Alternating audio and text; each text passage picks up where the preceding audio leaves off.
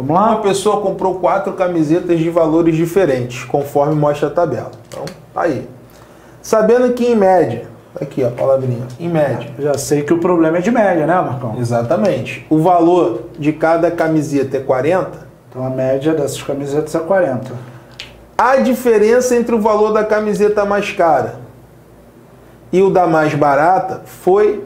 Então, a gente precisa achar o valor do polo. Do polo. Para saber se ela. Né, É a mais cara, é mais barato ou não é Ou nada, não é né? nada, exatamente. Então vamos lá, pessoal. Começando. O primeiro passo é você somar né, isso daqui. Por quê? O que que é média? É um conceito intuitivo, não é isso, Renato?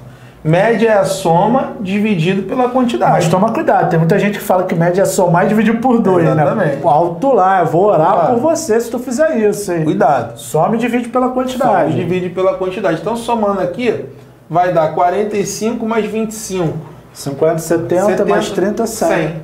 Então vai ficar ali a média. Vai ser x mais 100 dividido por quanto? Por 2? Quatro. Não. dividido por Quatro. 4. Isso tem que dar quanto? 40. 40. Show de bola?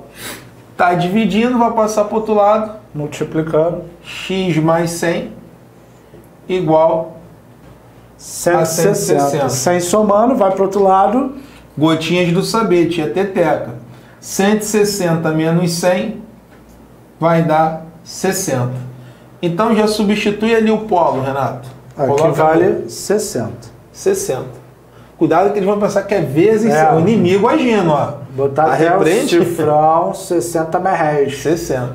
Então, com certeza, o polo ela é a mais cara. Né? Ficou bem claro isso ali, que a polo é a mais cara. Qual é a mais barata? A regata. Aí Então, é a diferença, você vai diminuir ali, ó. 60 menos 25, que dá quanto? Fala tu, Marcão. 35. Morreu, qual o gabarito? Letra A I love you, marca o vizinho da vitória. Show de bola?